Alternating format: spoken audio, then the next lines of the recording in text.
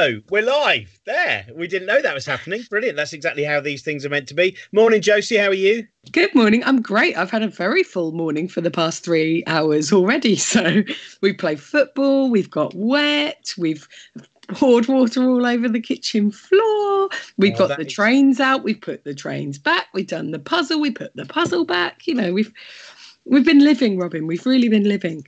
Because it's been great. Because I know that your daughter actually, she's only sort of, but she made a very good, a, a fantastic schedule. It did say five seventeen a.m. Uh, pour water on the floor Monday, Thursday, and Sunday, isn't it? Mm, mm, mm. She is.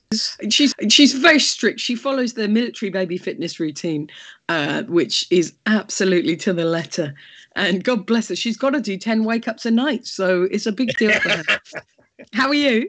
I'm good. I'm good. I'm going to start off straight away with our show and tell today. I yesterday I had that thing of because I'm finding new ways of procrastinating, so I don't write the book that actually has a deadline. Of Um, course. I decided to tidy my chaotic desk. I found I have a lot of floppy disks that I don't require with screenplays that will never be made from the early 21st century. Um, Oh, I- I think you should definitely keep those. I, I, I feel very strongly that you shouldn't throw those away.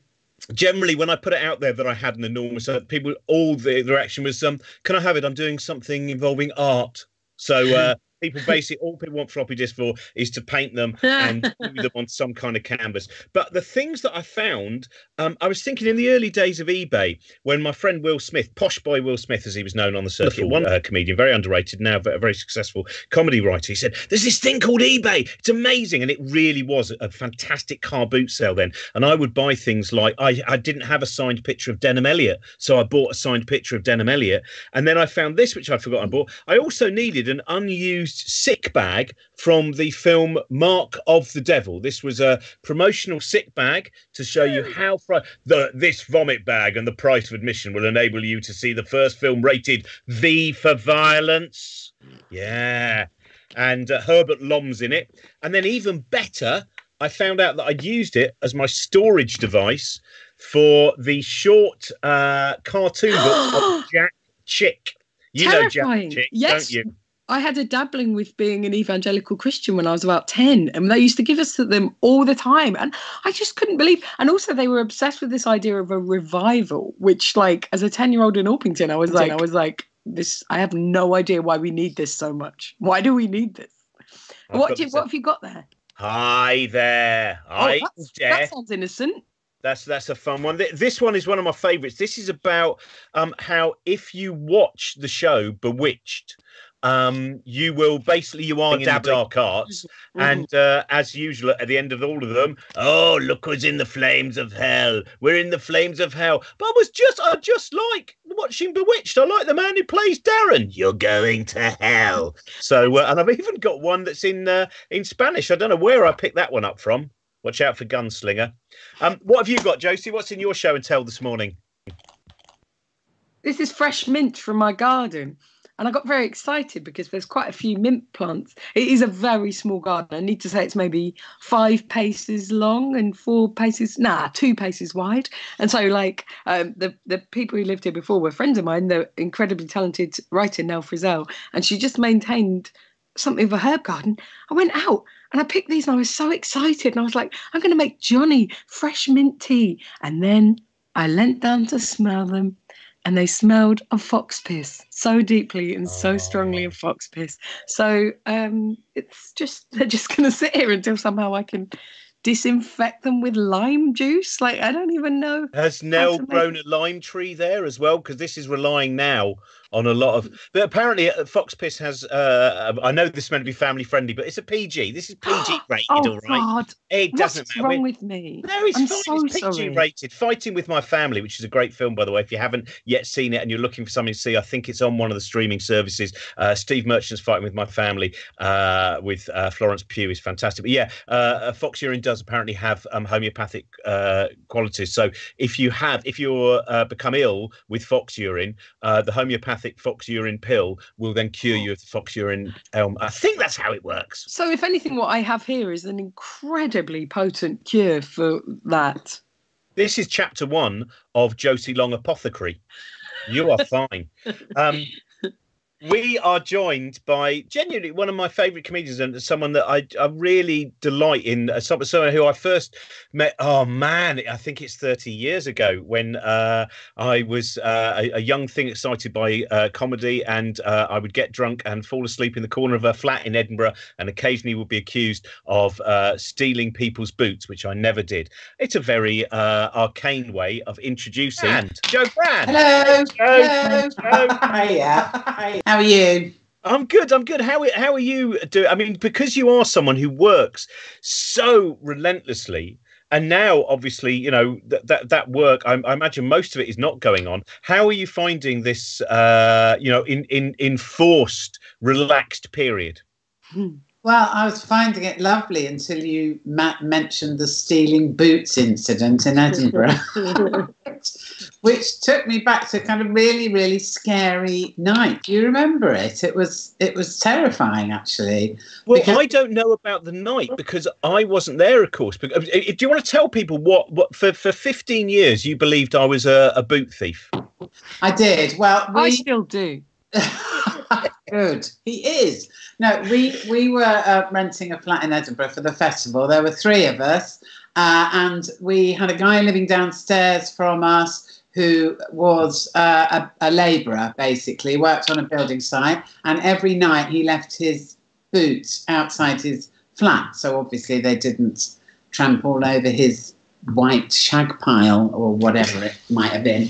And anyway, uh, one night we had a small party to which you uh, came, and um, his boots disappeared on the night of that party as oh. people left to go home. Uh, but then what happened was that he knocked on our door at four o'clock in the morning, um, obviously getting up uh, early for work to say that his boots had disappeared. And if they didn't appear back outside his flat by the end of the day, he was basically going to come in and kill us. and we were like pathetic little eh, sort of comedy students. And we thought, oh, he's so scary. He was really, really scary. Uh, and so for some reason, somebody pointed the finger at you, Robin. I don't know why. Um, uh, but investigations came to nothing. And in the end, I was forced to shove rather a lot of money under his door to stop him killing us. Because I, I mean, think it was. Um, it was about 15 years later i think we both we were doing that thing where you sit in silence on on mock the week uh, while frankie boyle you know does everything and while we were having these moments of silence that conversation came up and it was uh, you know by that point i was in my 30s and all of that time yeah that that that burden of a guilt i didn't even know that i had and that was the only time you actually found out i was not the boot thief i think it was ray hanna the uh, american lenny bruce impersonator and keyboardist because he'd been cruel to me in the past. I think it was Joan Collins. I don't even know if she was there, but who knows? It might have been. It was a flamboyant. Well, I'll tell you something for free. Joan Collins has never denied it, has she? That's true. That is true. If she had nothing to uh, be ashamed of, she would have come out and said it. It's been a long enough time. Yeah, I'll, I'll check. I'll get back to you. That would make a great detective series, wouldn't it? Tracking down older actors for minor demeanors 30 years ago. That would be good. Yeah, Ray Brooks from uh, The Knack. And uh, you remember Ray Brooks, also a great voiceover man for things like Mr. Benn. Yeah, wonderful, yeah. wonderful actor, and, and, did a brilliant album as well. Really good, really good singer. Still, still around. Jo, we've got loads of questions from uh, people that people have uh, sent in, and the first one's from uh, Morticia, and uh, she's really? the, if you're feeling really sad or worried, what's your favourite film to put on to cheer yourself up or distract you for a bit? Do you have something to uh, kind of hide in? Well, I I do like Airplane, which I know um, loads of people like really because I'm scared of flying, and so anything that makes flying seem ridiculous. And to be honest, I have actually been slapped round the face by an air stewardess um, on the way back from Malta because there was really, really awful turbulence. And I did do that appalling thing that starts mass panic of standing up in my seat and shouting, "We're all gonna die."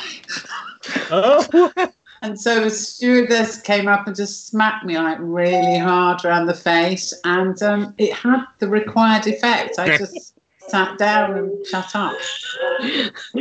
there, there is something about once the national treasure Jo Brand says we're all going to die, then everyone else on the flight from Malta goes, "Well, if she said that, it must be true." Yeah. There's no way she would. I was a nurse. I was a nurse at the time, so thankfully nobody knew who I was for a start off.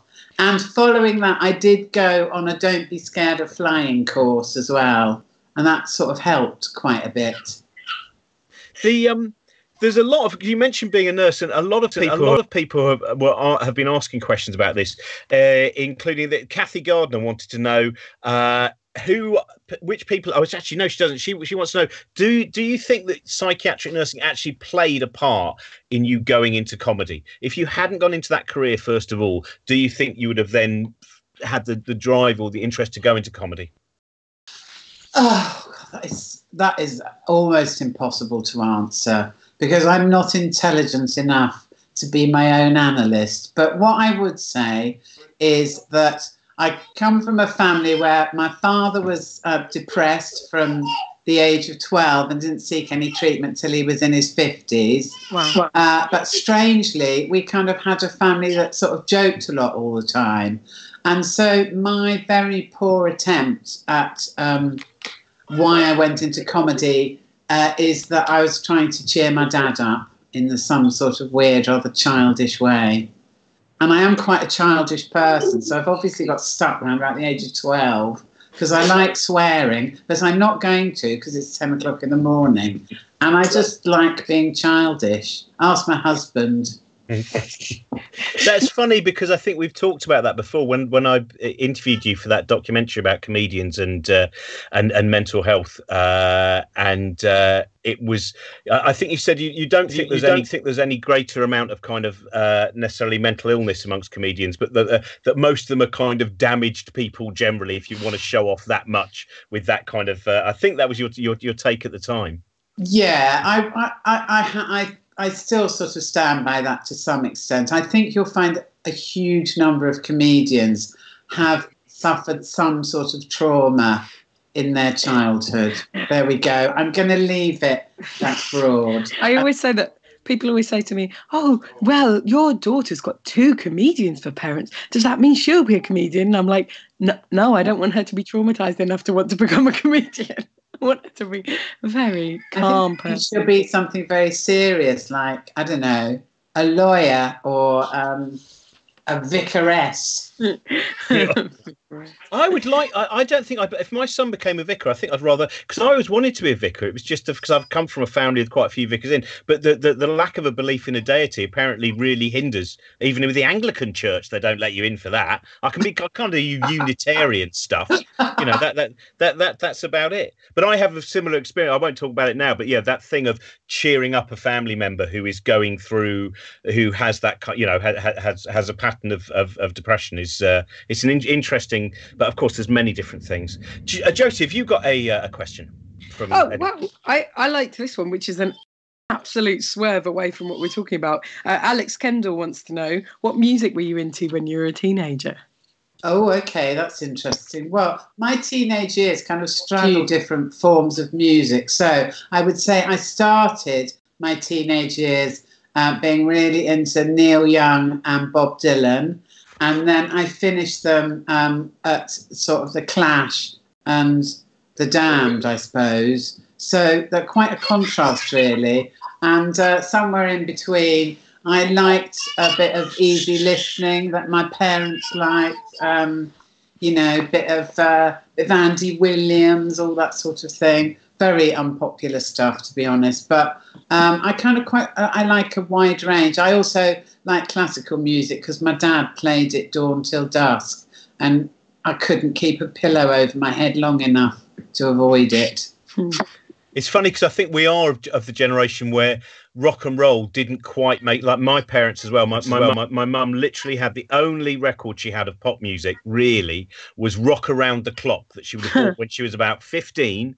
And from that point onwards, the, the rockiest the house got was Hooked on Classics, the classic combination of classical music, but with clapping in the background and a vague disco beat. It's the things that Beethoven had never imagined were possible. and that, that, that was she saying, This is my ironing music. um, also, someone said, "What's the best mixtape you've ever had?" Now, there's a there's a tough one. Uh, what what do I have to list every track? That's no, I just, was was the one tape that someone gave you and you thought, "Yeah, this is the person for now." Well, it, uh, to, to, be honest and to be entirely um, predictable, it was my husband. So there we go. That works, everyone. That's very nice. Don't put you know, Mungo Jerry on it, or just don't put put interesting stuff on a mixtape that you think the other person's not heard. I my proudest moment when I was a teenager and sort of I didn't really have stand up I in my really have stand up in my life yet was spending about oh god hours of my life with a tape where I put like a virgin by Madonna on it and then what I did was every time it said virgin I spliced onto it somebody from Hitchhiker's Guide saying Vogon Destructor Fleet. So it literally was like like a Vogon Destructor Fleet. It, was maybe 50 Vogon Destructor Fleets. And most of the time it didn't fit because it's longer. So it was just an absolute mess. Oh. also, if I could just say, when I when I was uh, a teenager, we weren't allowed to watch Top of the Pops in our house. Why? Uh, well, interesting thing because my mother uh, thought that, who's a social worker uh, in child protection, thought that there was a whiff of paedophilia about it. Make of that what you you uh, you may with hindsight. You know, um, she thought Jimmy Savile was very suspicious, and uh, some of the performers were. So she just didn't like the atmosphere of it. Sorry. Moving on to more family-friendly stuff. Have I said anything really appalling yet? At least she I haven't correct. Pardon? He was correct. Well, absolutely. I know, very prescient. That's the, uh, um, the uh, it is weird, is it, with, with, pop music as well? When you think of things like when Madonna first started, uh, the Beastie Boys, Boy George, that kind of thing, um, it is uh, pop music can still shock. I don't know if it can now. Um, do you know what I mean? I'm not sure for for our kids whether they will be able to have that moment of kind of uh you know revenge by going listen to this because i find the only thing that the only bit of kind of rebellion that i find difficult is their love of youtube uh, channels where men who are in their 30s play minecraft overly and that to me, I think, is probably as annoying as if someone went, Oh my goodness, what on earth is this Sex Pistols thing? I think that's, you know, so it's a very different form of kind of capitalist rebellion. Uh, is there a question in there somewhere? No, not really. I was just worried because have, Lucy had to go off and look after a, little, after a little girl, so I thought I'd fill the time. Oh. Sorry about that. A brilliant exposition. I, I, was wondering, you know, do you, do you know that that, you know, bit, that, you know, you, you know, you, have you, you have kids, show, do you, musically, musically, uh, is there anything, is there anything you do find, do find just going, oh, just going, oh, for heaven's what is this? What is this? What is this? What is this awful noise? Uh, well, uh, I don't well, know what's I don't know worse, what's worse, a parent, parent that hates what you, what you, like, what you like to, or a parent, that, likes that likes it. I think the parent that likes what you like listening to is more annoying, really. Oh, yeah. So, there's there's stuff that they that they like, um, and some of it I like and some of it I don't. But most of the time, I have to sort of be very neutral about it because I think I said if I liked it, they would stop listening to it. There is a nice bit in, in Stewart Lee's most recent show. show. He talks about he talks um, fathers bringing their their sons as if it's you know it's going to be a kind of you know way that we can bond because you know he's really culturally significant mm-hmm. and then the, the father sits thinking that his teenage son's going to go wow dad's really cool he's into Stewart Lee and the teenager just sit there going don't know what this is dad so I quite like that there's still that kind of, yeah. you know, and I felt I was very lucky. His show, which really is superb. I went to see it at the Watford Coliseum. Yes, Watford has a Coliseum, and uh, it, was loved. The audience absolutely adored it, but it still has people who sit there and go, "I don't know what this is." And you know, and Stewart mentioned of other people who were there. You know, as he sees people going past the merchandise stall, he can hear them saying, "I'm sorry, Bill, we're not going to this again. I still don't get it." And I, I think you know that's quite quite a nice position to still be in. I I went to an art gallery in Bath when I was when I was on tour, and there was a Grayson Perry exhibition, and it was all his early work, which is like really dirty and full on and sort of exciting, sort of quite rough. There was a room that was quite like raw stuff, and um, there, a lady walked out with her friend, and she said, "I, I'm not, I don't regret coming." But I wouldn't like any of that in my house. That's the perfect Bath response, isn't it? I'm, I'm, glad he did those rude things, but I don't want them anywhere near me. As I remember someone leaving a Robert Mapplethorpe exhibition and just hearing them say, "Well, I liked the flowers." And if you know his his his work, um, we're going to go over to uh, Luke in in, uh, and we've got loads. Of, also, by the way, apparently John Nicholas tells us it was Thora Hird who stole those boots. He heard her showing off in a pub in Plymouth in the late nineties. Uh, so there we know that. Um, just to tell everyone a quick thing, which is uh, tomorrow morning we have Sara Pascoe on, and uh, we have Natalie Haynes on, and uh, Ben Norris will be singing some songs. And then in the evening, we're doing an extra show. We have uh, Chris Hadfield, uh, the astronaut Chris Hadfield. So if you have any questions, questions that you, you know, questions from your kids, or questions you want to ask Chris Hadfield or anyone else that I've just mentioned, and Steve Merchant on Friday, uh, send them to us, tweet us, do anything like that. Uh, also, there's a tip jar uh, somewhere on the screen you're probably looking at um, at cosmicshambles.com. And uh, if you enjoy this, if you're if you're having fun and you and you can tip a little bit of money, we're basically collecting money for some of the artists and performers uh, and also venues that may well uh, pretty much kind of go under uh, with this current situation with you know three months of of uh, work and events all cancelled. So we're trying to get together some money and that's going to go to various people who uh, are finding it particularly tough at the moment. And if we make enough, we'll be able to distribute that further and further and further. So thank you for any of your tips. And now we're going to go over to, sadly, I was meant to be at the Laugharne Weekend Festival uh, this weekend, which is where he is always utterly triumphant. Of course, the Laugharne Weekend Festival is not happening. But here is the poet, Luke Wright. Luke Wright. Hello. Hi. Um, so I'm going to do three poems for you. One of them is very short with a little one in the middle. Uh, the first one is um, so back in Georgian times, which is my favourite period of history, um, we didn't have newspapers. Um, instead, we had pamphlets and broadside ballads. So the high-minded stuff was in pamphlets, and the sort of low-rent, sleazy, gossipy, salacious stuff were the broadside ballads. And these were large sheets of paper printed on one side uh, with rhyming verse on there, and you could take these. Um, uh, this rhyming verse down to the pub, and you could sing it to uh, to music, or you could just read it aloud, and that's how people got their stories. And so I've been taking a lot of these uh, Georgian ballads and rewriting them for the modern ear.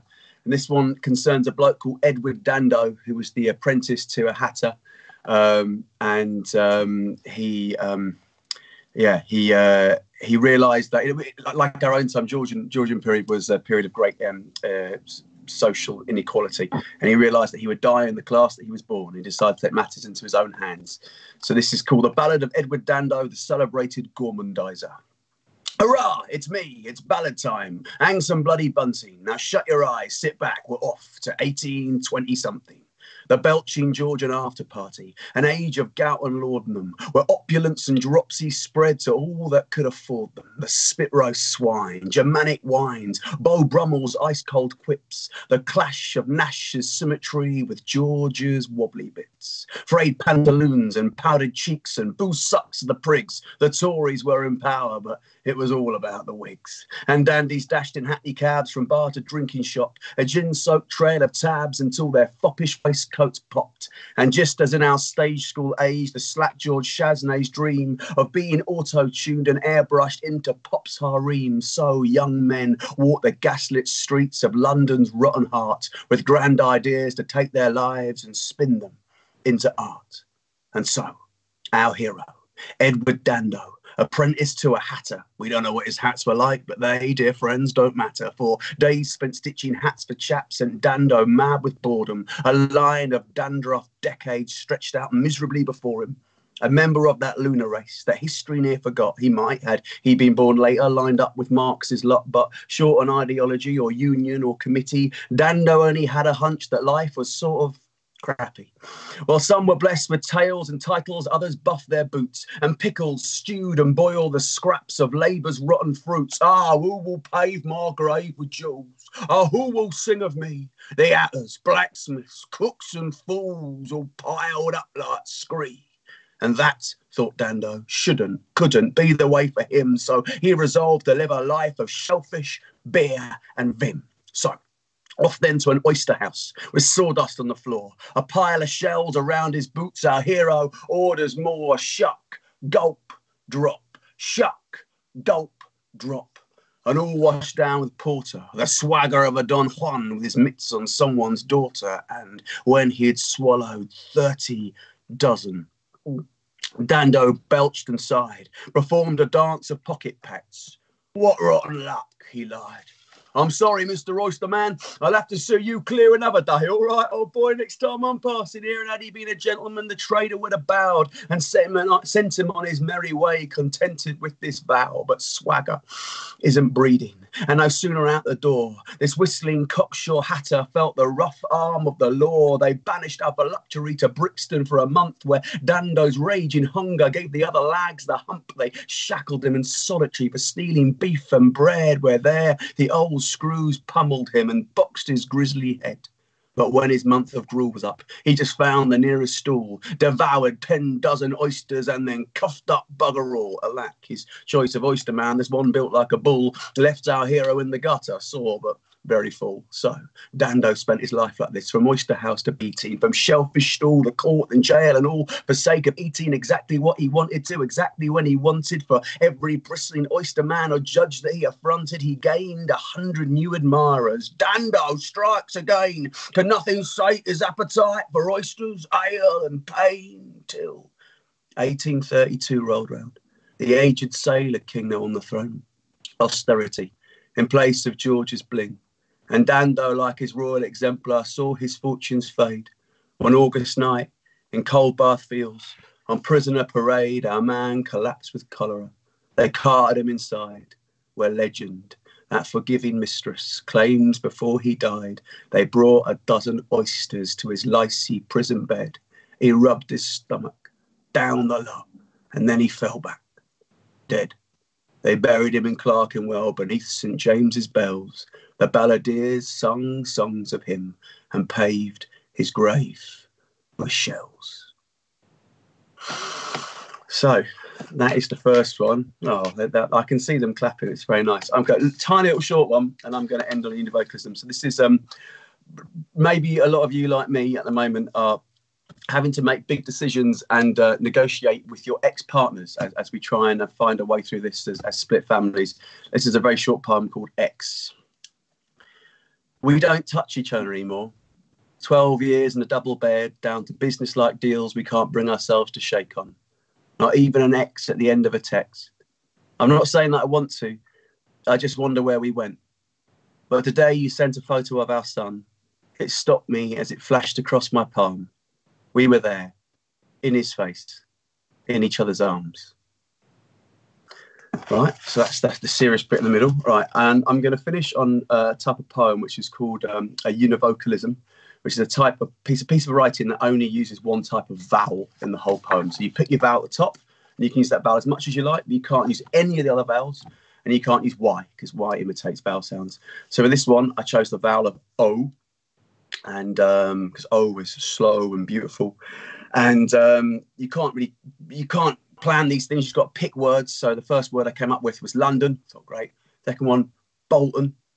Oh, this is fantastic. You've got Remain vote in London. You've got Leave vote in Bolton. I can uh, I can start to heal the divisions of the nation to the power of poetry.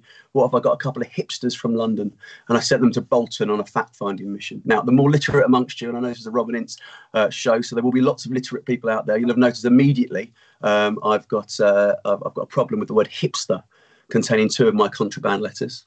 A lesser part would have turned back. Not I. I deployed a simple metaphor. So when I say sloths, I mean hipsters. Okay, right, let's do it. Ron's, it's got idea. So they got a Bolton, they meet a bloke called Ron He's got a shop that sells a bit of everything, remaindered goods. It's called Ron's Knock-Off Shop and it's in the key of O. Two cool London sloths go north to Bolton. Oz, proto fop on lots of pot. Hull, posh kook, long socks, brown flop. Oh, Bolton's not so droll. Bolton's not got Rococo blocks. Bolton's got no dons or profs. Bolton's got no dot com showrooms, no comforts for London cohorts, no. Bolton's got lots of old workshops, lots of soot, lots of orthodox lowbrows who mop floors or drown sorrows. Oh, poor old Bolton. Soz. No. Bolton's got Ron Ock, odd job bod, compost gob, Ron's old shop flogs, knock off dross, low cost, low coat togs, non cotton, cotton socks, row on row of dolls for tots, old promo photos of Bjorn Borg, Pooh Brown ponchos, crossbows, off food, goth porn, docs for opods, knock off. Ron's old now. Ron's got no boss. Ron's got no how. Ron knows how to hold forth. Ron knows how to shop for top knockoff. Tosh knows how to cough off no good cops. Front a shop, Ron plonks bottom down on worn old stool. Scoffs pork roll. Down shots of scotch. Croons old Motown songs. Blows soot, blows snot, blows bottom off. Ron's dog Bozo growls soft growls, both bollocks. Lollop. London sloth stroll from block to block. Oz spots Ron's old shop. Oh, cool shop. Oz hoots. Hole, look. Hole looks. Oh, wow. Hole drools and Ron's hodgepodge lot of knock-off rot. Oh, wow. Oh, wow. Oh, wow. Oh, Oz. Look, look, look, look, look, look, look. Pooh Brown ponchos. So now. London sloths blow lots of dosh on Ron Ox cush of knock off tosh. Eh, Ron Ock, good, good. Ron scoffs now. Sod off. Oh, sod off. So north. Ho, ho, ho. Sloths up not to sod off. Sloths up to stroll off. Oh, so slow. Ron lolls. Rolls sloths dosh. Lock shop for long month off. Roll on tomorrow. That's me. Thanks very much, Very much. Luke. Can I Um, just say I'm on say I'm on online at 8 p.m. every evening on Twitter doing a gig for for, for the foreseeable future. we were so busier. We've never Yeah. been busier. So, um, the uh, uh, Luke Luke Wright poet, by the way, is, is uh, Luke's Twitter handle. So go if you go there, uh, you'll also find out where lots of other places you can find out about his work and uh, the kind of venues that Luke plays and Josie and and, and I play as well uh, are some of the kind of venues where we're trying to make money for for the staff who work there in those places as well. Again, to keep those up and running when everything is is back to whatever new normal there may well be. Uh, we want to make sure there are still all of those different opportunities and different places where people can create and the people who run a lot of those venues uh, already they don't make that much money running those venues and uh, they do it because they love helping to create kind of art. So uh, so if you go to our tip jar you will be able to hopefully uh, give something to towards some of those people. So thank you for doing that. Uh, Jo we've got a few more questions for you before we go there's some uh, can I, Can sorry I Jo ins- I just want to interrupt and say that Say about that half about half the questions are just people saying, "Please tell her she's a genius. Please tell her I love her. Please tell her she's wonderful." So we need to sort of represent that. Um, Yeah, I was about to say, yeah, Charlie Demant, a very old friend of mine, uh, says just she's tell a her she- genius. And Well, that comes could, I, could I just redirect that to Luke? Because Luke, I thought that was absolutely amazing. And, you know, I'm going to come and see you now, and I'm going to throw money at you whenever I see you. So come and walk past my house. Thank you very much. not now. Don't walk past the house now. Yeah, but not yet. No. Yeah, we've come got past some- your house in a car. You allowed to go out in a car? I don't even know that. Do we know? Can I just say something? I know I'm off screen now, but as the Guardian's just flashed up the Prince Charles that the Prince Charles has got coronavirus. Oh, lordy. You heard it here first. Well, sorry, but we heard it Yeah. some quite early on here. um, but there's loads of lovely. Yeah, Neil Neil Peters just wanted to ask, why are you so consistently brilliant? Uh, Jackie Clune, who I'm sure you know anyway, was a brilliant uh, singer and performer. Uh, how are you still such a wonderful legend? But Ben Wilmot wants to know, what's the best pub in Camberwell? He presumes because you used to work in the Maudsley, there must have been a few pubs that you uh, that you went to. Well, um, I I only ever went to one, so presumably that is the best one in my life, and that is the Grove Tavern in Grove Lane. Oh yeah, I know that one. And just very briefly, my experience in the Grove Tavern, I was in there with a load of other student nurses one night, and Joe Jackson was in there. Remember him? Yeah. Yeah. Is she really going out? That's the one. And uh, we were like, oh, Joe Jackson's in, Joe Jackson's in. And um, he was up at the bar getting a drink, and some really drunk guy came up to him and went, "You must be late. You must be loaded, mate. Get everyone in the pub a drink." And got really, really aggressive.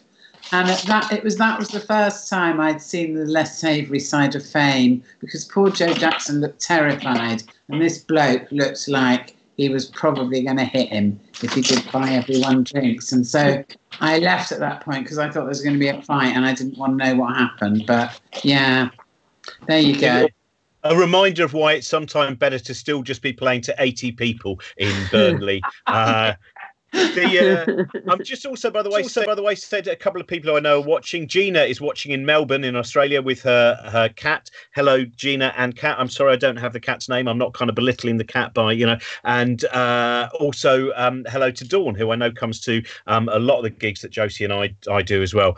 Um, there's uh, Julie would like to know, and Julia is is a librarian. Julie would like to know who's funnier, comedians or psychiatric nurses. Oh my word. Um, I think it's probably comedians, and that's not a slur on psychiatric nurses, but psychiatric nurses, on the whole, have a really unacceptable sense of humour, which is to do with being stressed out and backed into a corner a lot of the time.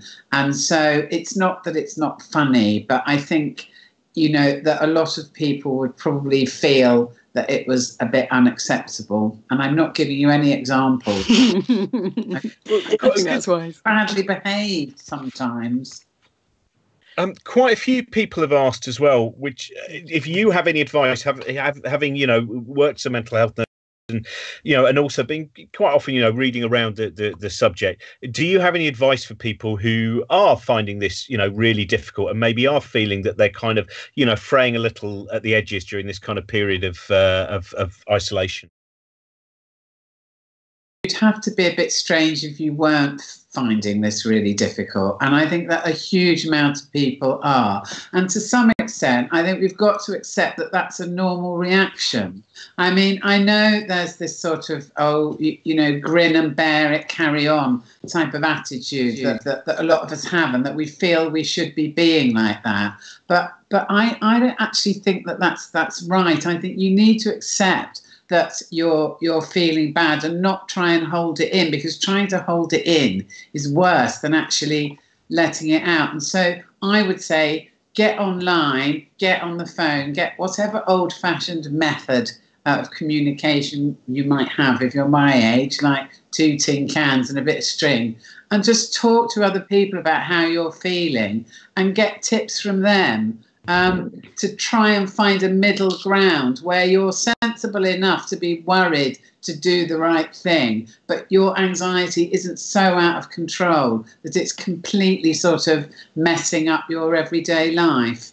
And there are things you can do to deal with anxiety. And one of the best things, in my experience as a nurse, is talk to other people about how you feel, and they talk back to you about how they feel, and you calm each other down. Brilliant.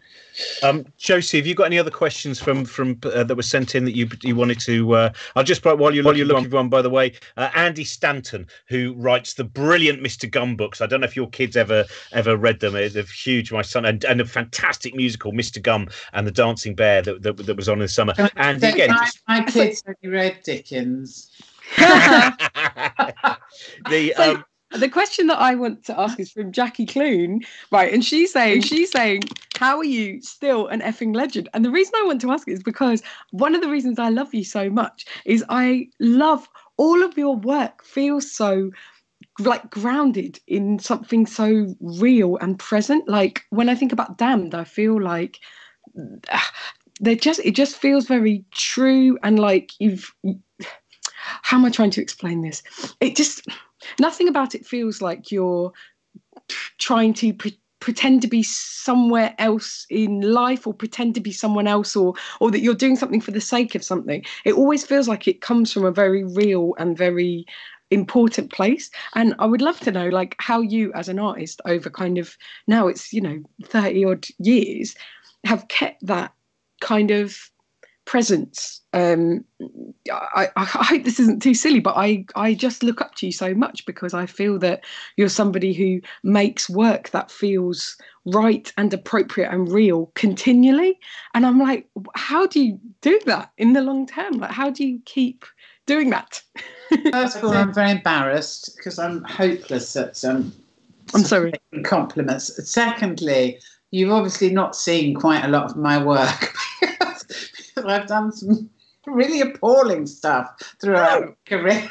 Thankfully, you haven't seen Josie, but I, I think with me, uh, to be honest, uh, to me, it's always it's always been because kind of a, a, lack of talent really i always wanted to be like a good actor and i went for drama school uh, auditions and i was so humiliated at the first one i cancelled all the others and so i ended up doing that thing that some sort of soap actors do is that they just play a version of themselves mm-hmm. all the time. So then what I was sort of forced to do through my work was to stick to what I knew. But in some ways, for me, thankfully, what I knew was stuff that nobody else really was doing anything about, like, you know, mm-hmm. psychiatric nursing or social work or stuff like that. So I could kind of nick that area and use that. Um, I think I think the thing is that you know we're saying who's funnier, psychiatric nurses or or, or, or comics. Nurses, doctors, everyone everyone's got a brilliant sense of humor. I mean, the reality of it is, my big brother Bill is so much funnier than I am naturally. He's kind of a natural comic, whereas I have to work at it. Um, so I think I've just stuck to the things um, that I've always been interested in. You know, I get the impression with Luke and his poetry that he really loves words, you know, and he really loves history.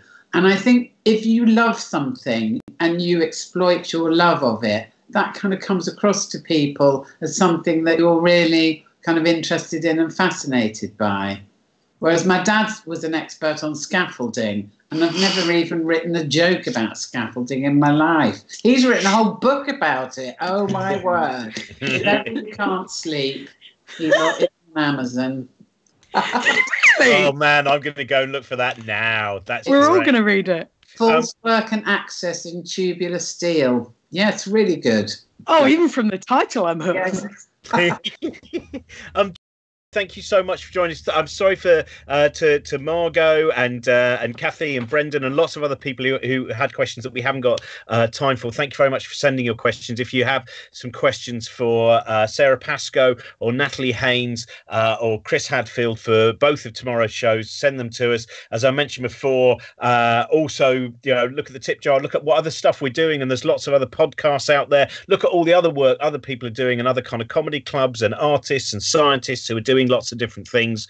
Um, so keep supporting them. Keep going to Bandcamp if you can. And uh, oh yeah, tonight I should mention as well. I'm doing a show uh, on here with Michael Legge, and our guests are Emma Pollock, uh, formerly of the brilliant band the Delgados, and uh, doing incredible solo work, and also Malcolm Middleton, uh, formerly of Arab Strap, and doing incredible solo work as well. And both of them are on Bandcamp as well. So uh, go and listen to their music and and keep them going as well if you if, if you like it and buy that music. You should like it. It's fantastic. Josie, are you okay for the, the rest of the day? What are you up to? Um, well, I've got an hour to work until the baby the baby naps, and then while the baby naps, I shall do some general tidying and cleaning, and then she and I, which the real highlight of our week. We're going to go and pick up the veg bag, so it's a really full day for me, very full. And Jo, what are your plans? Big plans for the day? Lying down and administering various liquids and solids to myself.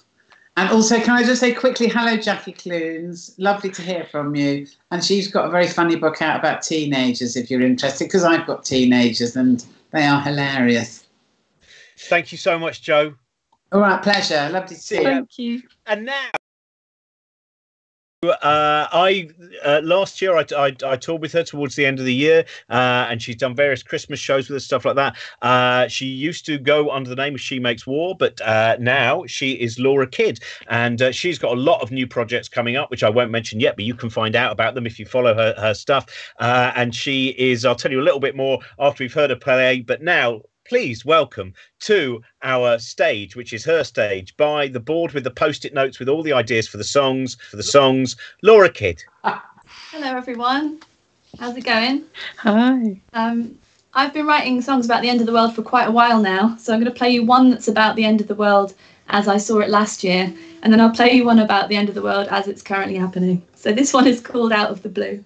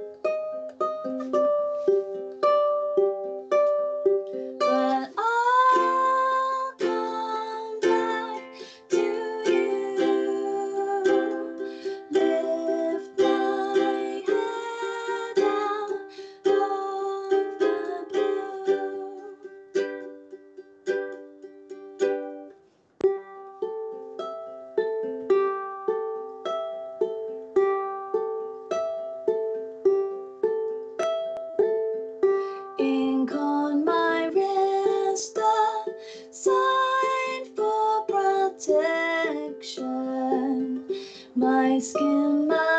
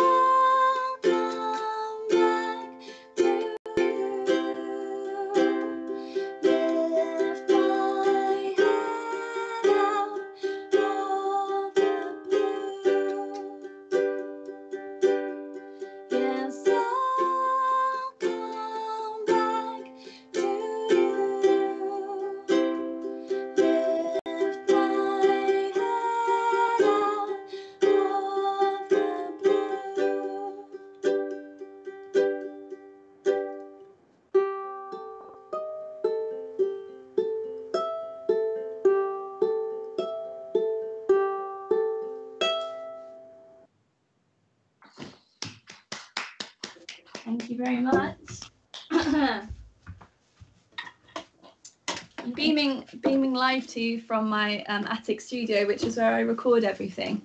Um, and I'm working on an album that's going to come out next February. Um, I'm launching a new thing. So if you'd like to hear about that and these brand new songs, you can go to my old website, um, counterintuitively, which is shemakeswar.com, and you can sign up and find stuff out. But this is a song I wrote um, on Monday. So uh, the words are here. So if my eyes are not at you, that's why. But this is a song that um, is helping me get through this time a little bit. So I hope it helps a, few of you as well. This is called Everything Looks Normal in the Sunshine, and it's brand new.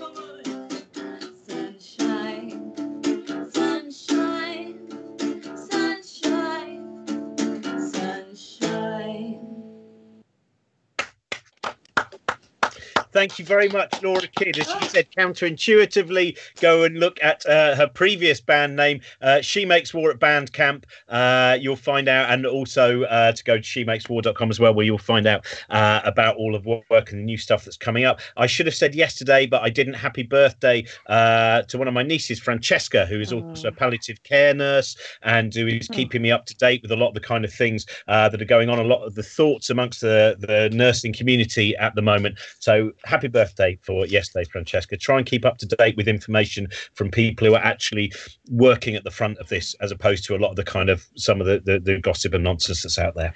Um, I just want to say thanks again to Laura because it was really thrilling to hear a song that felt so contemporary. I couldn't believe it. That was very scary. it was fantastic. Thanks very much, everyone. Thanks, Jo Brand. Thanks, Luke Wright. Thank Thanks, Laura you. Kidd. Thanks, Josie. We'll be back tonight at uh, 8.30 with Malcolm Middleton, Emma Pollock and uh, Michael Legamy, perhaps doing some new moving renditions of children, children's TV theme tunes as well. Bye-bye.